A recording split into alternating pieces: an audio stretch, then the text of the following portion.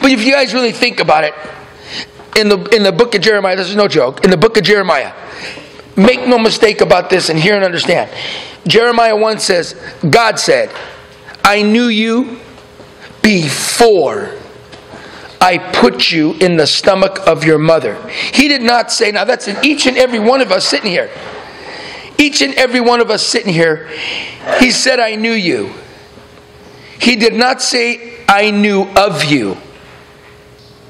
Now, uh, there's a lot of people, a lot of women who've had abortions. Let me tell you something God doesn't lose no babies.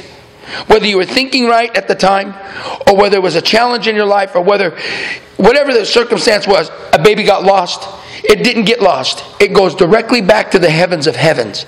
God doesn't lose no babies. Number one.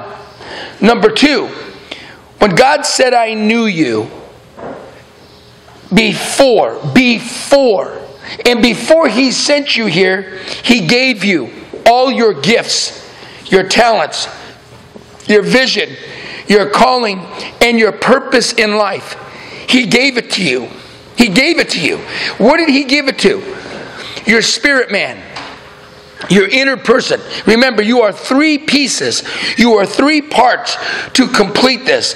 Your brain has nothing to do with anything spiritual, it does everything to confuse the real you. Your brain does. Your brain is a physical organ, but you're made up of three things. You're made up of your what? Your spirit, that's the real you. The spirit, you are a spirit. You don't have a spirit, you are a spirit. You have a soul. That's your mind, your will, and your emotions. And you live in a vehicle called a what?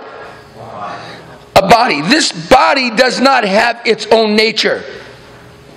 You teach it what to do, you teach it to train. I taught my body to build race cars. I taught my body to jump the cars and crash the cars and wreck them and skate them. That's my makeup. God gave me my gifts and talents. He gave each and every one of you gifts, talents, vision, calling, and a purpose in life. You have a purpose.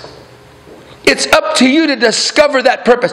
You could never discover your purpose in life without Jesus Christ living in your heart. You can work, you can go to this job, you can go to that job, you can jump around from job to job, you can make some money, you can say you're happy, you can say, well, that's what people do. They get up and they go to work and they come home. You know, it's the same routine. Yeah, you can do all that, but you have not discovered your purpose. When you discover your gifts, your talents, your vision, your calling, and your purpose, life is supernatural. It's not going to work. When they go, do you go to work? I love what I do. As a stuntman, I love doing vehicular stunts and jumps and falls and fight, whatever it is. I love being a stuntman because that's what I do. That's my, that's my gift. I love building race cars. I love racing and I love mentoring. I discovered what I'm supposed to do. There's only two tragedies in this life, only two that you will ever have to face. Ever have to face. One of them is leave the earth without knowing where you're going. How many of you left your house today without knowing where you were going? Nobody. Everybody knew where they were going to go today. You get up, go to work, you get up and go to school, you get up and go to your job, whatever it is. You get up, you know where you're going. You don't just leave like a goose in the fog and drive around. You don't do that. You get up with a purpose where you're going. That's a tragedy to not know where you're going. As a Christian, let me tell you something. As a Christian, you don't die. There is no death. When you leave here, in one one hundred, let me say it again, one one hundred of a second. That's faster than a blink of an eye. You go from here to there, and you're in a brand new body at 33 and a half years old. 33 years old. Do you know why you're 33? Number one, you're created in the image of God. Genesis 127. Number two, God walked the earth for 33 years. So when you leave here and you get to there, you're a 33 year old body. Heaven is identical to earth. How many grew up in a Catholic home? If you understand the, the old, the old, the Old Testament prayer, That prayer was never for today, never for never for people on earth. That prayer was for the people who were on earth with Christ. This is before Jesus left the earth. When his disciple says, "How should we pray?" He said, "You pray in this manner: Our Father, who art in heaven." That's not his name, Art. Howard is his name, remember? Hallowed be, oh, Howard is his name. No, Howard's not. Our Father who art in heaven, hallowed be thy name. Thy kingdom come, thy will be done on earth as it is in heaven. Heaven is identical to earth, but without sickness, diseases, lack, poverty, division. None of those demons up there are in the heavens.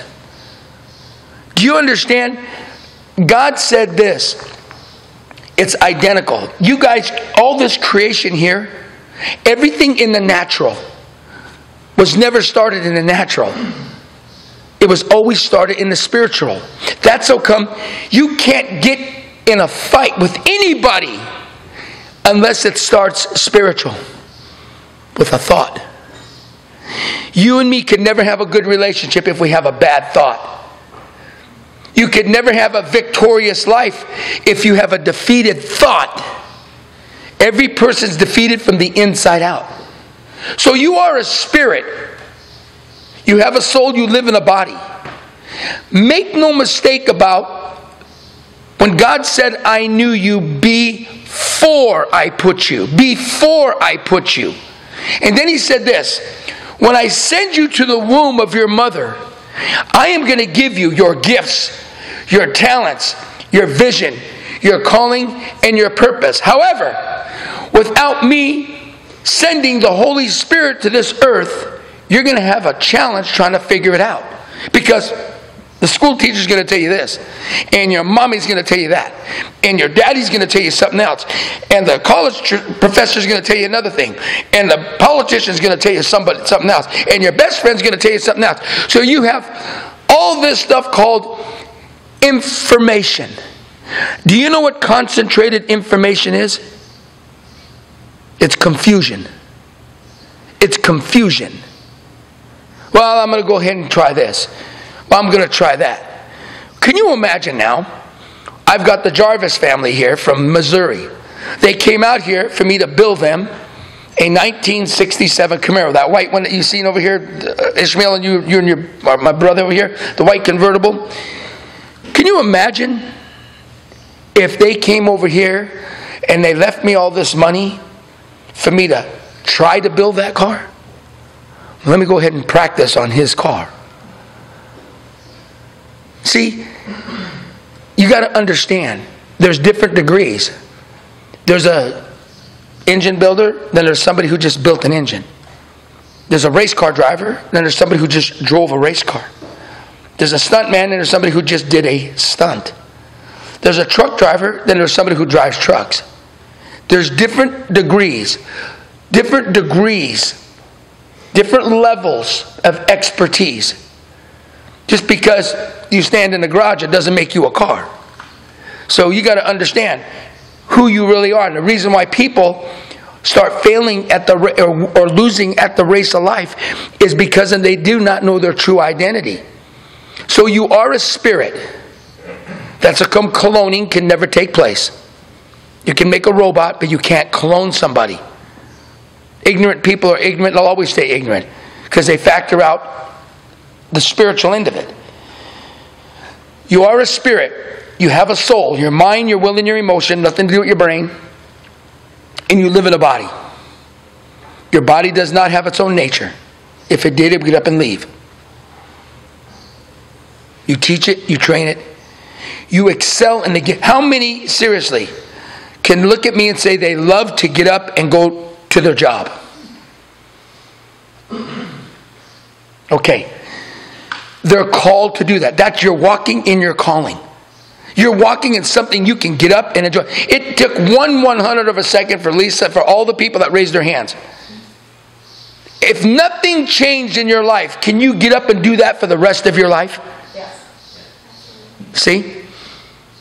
Now, the ones who cannot get up and do that, it's not a big deal.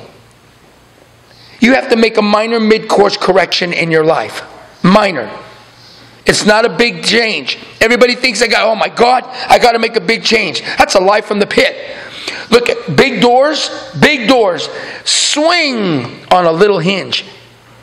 Little keys open up big vaults. A small spark makes a huge explosion.